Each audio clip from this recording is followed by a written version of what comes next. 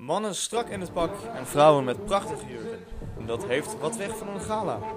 En inderdaad, het eerste Zwolse sportgala is gisteravond een feit. Toet Zwolle was aanwezig. In diverse categorieën werd er flink met prijzen gestrooid. Maar wie hebben er eigenlijk gewonnen?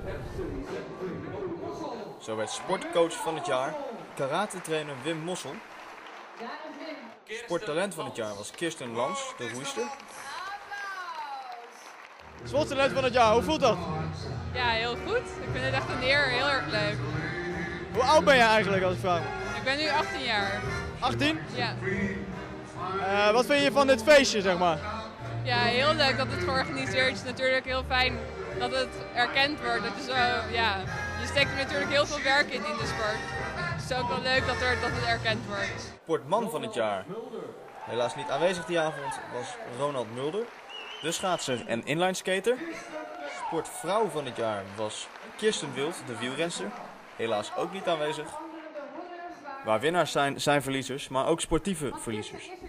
En we hebben vorig jaar eigenlijk niks gewonnen. Ja, een tweede plek en heel veel waardering. En een mooi proces waar we bezig zijn met Zwolle. Maar geen hoofdprijs. Dus ik hoop hier rond volgend jaar rond deze tijd weer een keer te staan. En dan uh, hoop ik ook echt uh, een tastbare bewijs te kunnen hebben van onze prestaties. Ja, zeer sportief.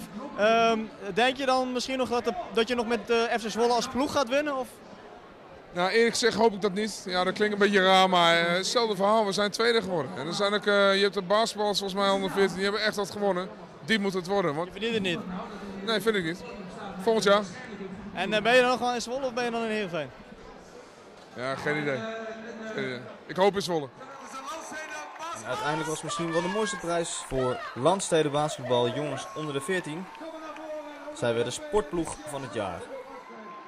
Nadat alle prijzen waren uitgereikt bleef het onrustig in het Equipe Center. De lakschoentjes en de hoge hakken konden nog even van de vloer tijdens de afterparty. Maar die afterparty was niet voor iedereen weggelegd. Ga je nou nog een beetje los bij de afterparty? Ja, ik moet morgen weer trainen. Ja, dat is wel... kun, je, kun je wel eens uitgaan en zo? Kun je wel een beetje feesten of niet? Of zit dat er helemaal niet bij? Ja, um, tot uh, half januari. Want dan is de intraining. Dat is de laatste keer dat je alcohol mag drinken. En daarna mag je gewoon tot uh, juli mag je niet meer drinken. Mis je dat niet dan? Nee. Nee. Nee, het sporten voelt zoveel beter dan drinken. Dus ja. Politiek correct antwoord, heel goed. Het was hoe dan ook unaniem een belachelijk groot succes.